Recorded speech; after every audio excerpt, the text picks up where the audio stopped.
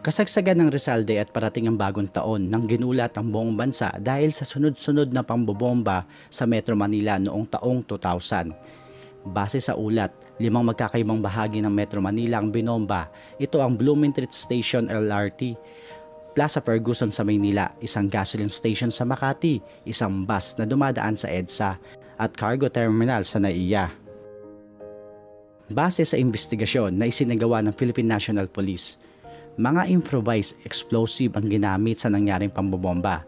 Ito ay gawa sa black powder, ammonium nitrate na ginagamit din sa dinamita.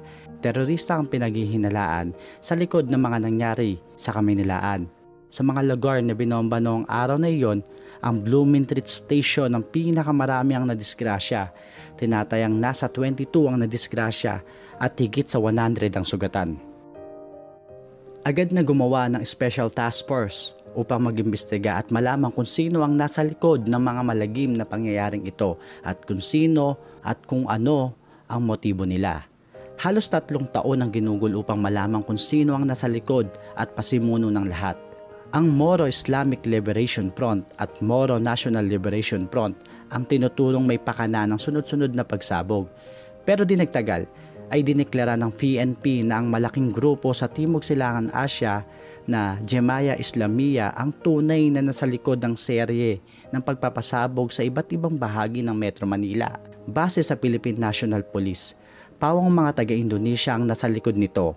Isa na dito ay si Fatur Rahman Algosi. Nahuli na at nakulong sa Camp Crame sa Quezon City si Fatur Rahman Algosi. Ngunit namatay ito sa isang enkwentro sa kapulisan noong taong 2003.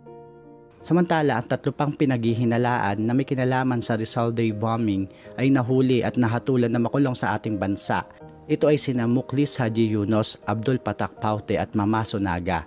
Dahil sa nangyaring sere ng pagpapasabog sa Metro Manila noong araw ng Rizal Day, na tinawag na Rizal Day bombing ay nagdulot ng malaking takot sa mga mamamayan.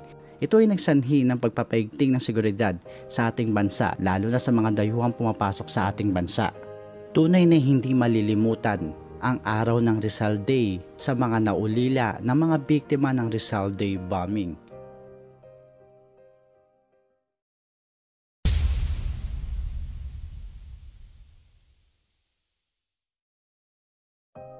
Kahit araw ng mga puso ay hindi pa rin pinalagpas ng mga terorista.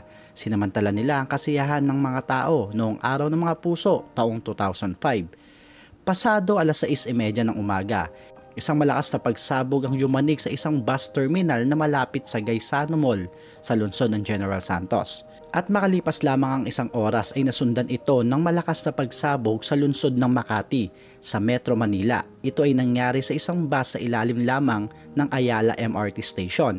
May nangyari din na pagsabog malapit sa Glorieta Mall sa Intercontinental Hotel kung saan madalas maghapunan ang Pangulo noon na si Gloria Macapagal Arroyo at ang pamilya nito. Ang teroristang Abu Sayyaf ang umamin na may pakana ng sunod-sunod na pagsabog na tinaguri ang Valentine's Day bombing at sila rin ang umako sa nangyaring pagpapasabog sa Super Ferry 14. Tinatayang labindalawang katao ang nadisgrasya sa mga pagsabog at aabot sa 144 na katao ang nasugatan. Sa sumunod na buwan, pitong miyembro ng Abu Sayyaf ang nahuli ng otoridad kasama ang pinuno nila na si Gaddafi Janjalani. Sa tulong ng miyembro ng Abu Sayyaf na si Gafal Bana Asani, tatlong miyembro ang nahatulang may sala ng Makati Trial Court sa salang terorismo at pinarusang makulong habang buhay. Ang hatol ay kinumpirma ng Korte Suprema. Tinagurian naman ng presidential spokesperson ni Pangulong Arroyo na Valentine's Day gift sa Pangulo ang pagpapasabog na naganap. Ito ay sinasabing ganti ng mga bandidong Abu Sayyaf dahil sa ginawang malawakang opensiba ng militar sa mga kampo ng Abu Sayyaf sa Hulo-Sulo. Sinasabing tinulungan ng teroristang grupo na Jemaya Islamia ang mga nambombang grupo upang hadlangan ang napipintong planong negosyasyon ng pamahalaan sa Moro Islamic Liberation Front sa mga ganitong uri ng pangyayari ang mga inosenteng sibilyan pa rin ang nagiging biktima ng kanilang ipinaglalaban.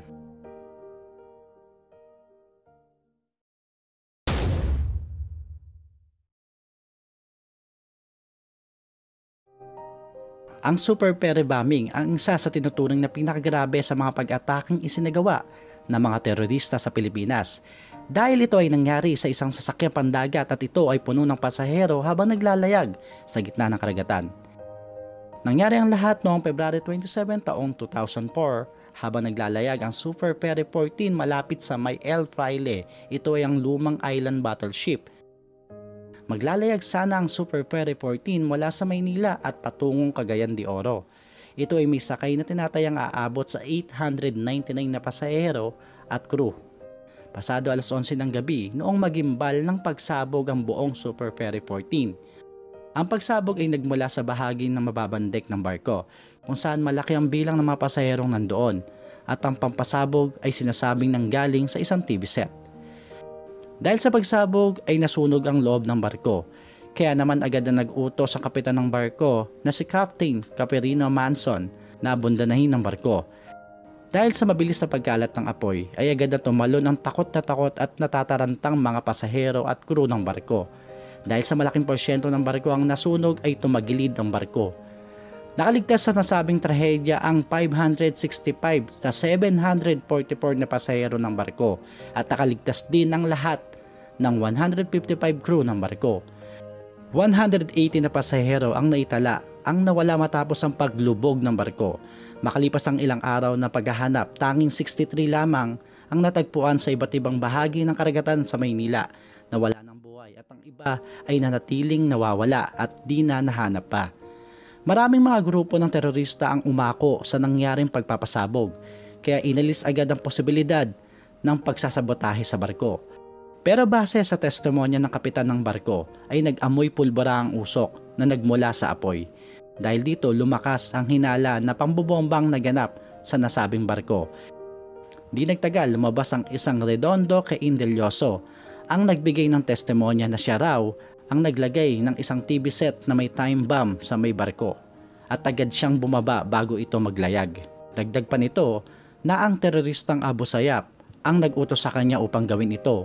Anim na sospek ang inaresto sa pagbobomba ng Super Pere 14 ang tinuturong mastermind sa nasabing pangbobomba ay si Gaddafi Janjalani at si Abu Sulaiman na pinaghahanap pa rin noong mga panahong iyon. Samantala, ang tagapagtatag ng Raha Sulaiman Movement na si Ruben Omar Pestaño Lavilla Jr. ay pinabalik sa Pilipinas mula sa Bahrain. Matapos masangkot at maturo na isa sa mga mastermind sa nangyari sa Super Peri 14 na ikinadisgrasya ng 166 na katao.